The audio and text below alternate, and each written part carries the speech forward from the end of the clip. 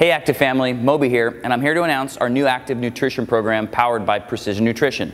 After years of doing challenges and other popular diets, we realized that what most people need is help with basic lifestyle habits.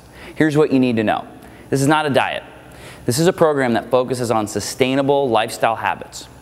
The program starts with an intake form where you will put in goals, health challenges, daily routines, and preferred foods.